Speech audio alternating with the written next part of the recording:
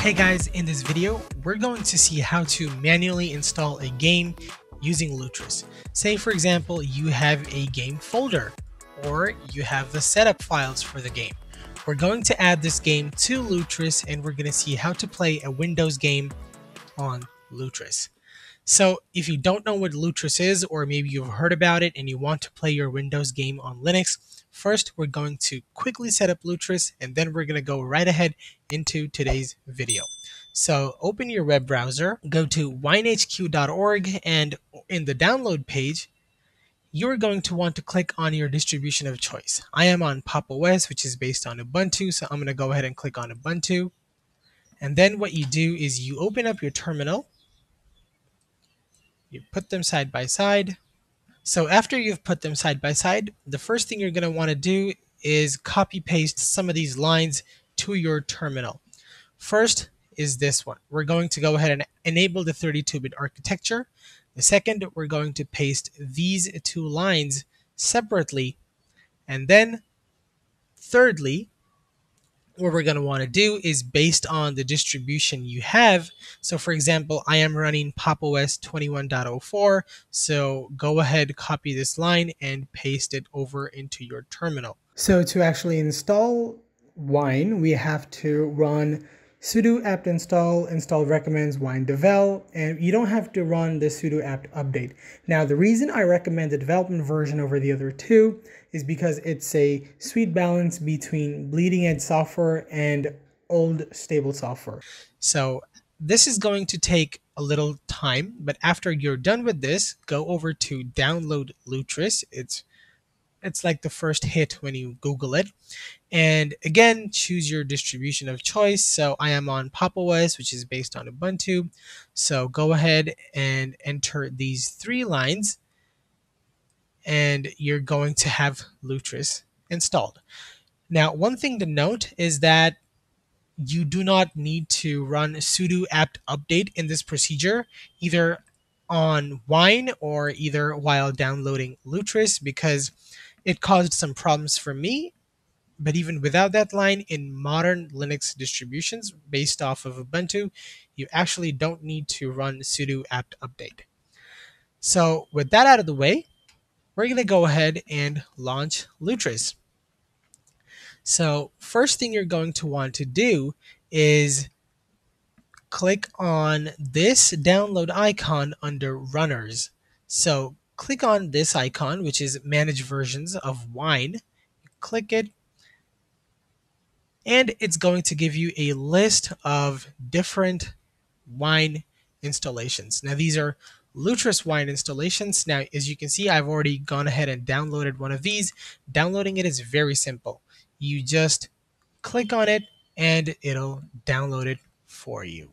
So once you've downloaded the Lutris version that you want to, for I will use Lutris FSHack 6.21. Now, what is FSHack? I will come back to that later. It is very important. So click on OK, get out of it. Now it's time for you to see where your game is located. So for example, I have my games under data and games, and let's say we're going to try to set up Tomb Raider Anniversary. So what you want to do is go ahead and click on this button, add game, as it mentions very clearly, I might add. You put the name of the game, so Tomb Raider Anniversary. Anniversary, I can't spell, sorry. Now, this is very important. Under runners, you have to select a runner from the list. Now, because Tomb Raider Anniversary is a Windows game, we're going to click on Wine, which it clearly mentions runs Windows games. Go ahead and click on that. Next up, we're going to go to Game Options. And now we have to click on Browse under Executable so that we can find the main exe file of the game. So I'm going to go ahead to Other Locations, Data, Games, Tomb Raider Anniversary, and all the way down to tra.exe. I'm going to click on OK, and it will open that up. Next up, we're going to go to runner options. Now, over here, you have to choose your wine version. So by default, we downloaded wine 6.21. if you followed all my steps correctly. But then we also downloaded the Lutris wine version. Now, this is a special wine version which will help you make your games run better and smoother. That is, there is a higher and better chance of your games working in Linux if you're using Lutris Wine. So go ahead and choose that. And when you come down, you also have an option of enabling AMD Fidelity FX Super Resolution, or FSR in short. Now, as you can clearly see, it says using FSR is meant to be for upscaling the game window to the native resolution. Say, for example, you have a 1440p monitor, but your graphics card is weak enough so that you can only run your games at 1080p medium. But you have a 1440p monitor, right?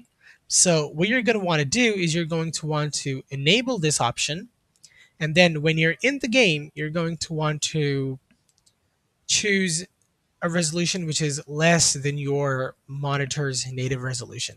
Once you do that, AMD FSR automatically kicks in, it upscales it for you, and 1080p to 1440p upscaling is going to look very sweet. Obviously, it won't be native 1440p, but I guess that you would be hard pressed to actually tell the difference once you're in the game and you're not pixel peeping all the time.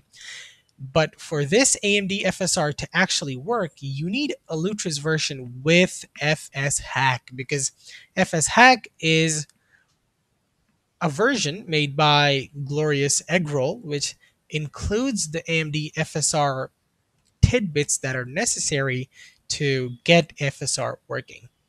Now, after you've done all of this, you could head over to system options. There are some options which you could mess around with but I usually don't because right now you don't need it. And say, for example, you want to install your games to a different folder, you could choose this. Now, what we are doing right now is this Tomb Raider game is just a folder, right? This, if I double click on this, it'll launch the game in Windows. But let's say you have a setup file. So the setup file, wherever you point the setup file to be installed, it's going to install it. That's really self-explanatory. You also have show advanced options, but we're not going to go into that as this is meant to be a beginner focused video. Go ahead and hit save and you're going to have Tomb Raider Anniversary. Now, one of the things with Lutris is that if you're adding games manually like this, you won't get the artwork. So what you could do is you go you could go to Google Images, you could download a picture and you could set it up. It's very simple. Right click, go to configure, double click, and you can choose your image. But we're not going to worry about that for now. We're going to go ahead and launch our game. Now, if you don't have Wine Mono installed, which you probably won't if you install Wine the way I showed you to, it will prompt you to install Wine Mono and it will do it automatically for you. So you don't really have to worry about it. Just click next, next, next, install, and it'll do it for you. Now, I already set up Ori and the Blind Forest like that. Generally, whenever you're using a single version of Wine, so I used Ori with 6.21 FSHack 2. So unless you change the Wine version, I think you don't need to actually go ahead and install Wine Mono again. So let's go ahead and click on play. Let's see if it works. Okay, so first it's asking us for our graphics. So yes, and remember guys, I have a very weak computer, so I probably will be running it at 1024 by 768. Refresh rate, it's 60, contrast, brightness, okay. Uh, enable depth of field, enable reflections, enable water effects, shadows. I'm going to get rid of this because I don't want OBS to be overloaded. And we're going to go ahead and play the game. Let's see if it works. Yeah, that's that's a good sign. I hope OBS doesn't give me dropped frames.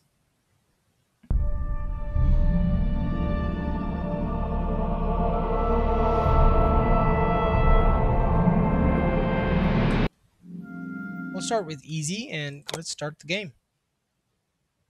Okay, so it runs fantastic.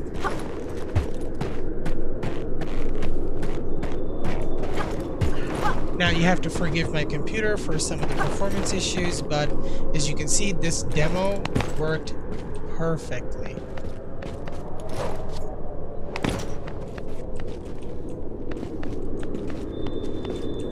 And with that, we come to the end of this video. Thank you guys so much for watching, and I hope to catch you next time. Peace.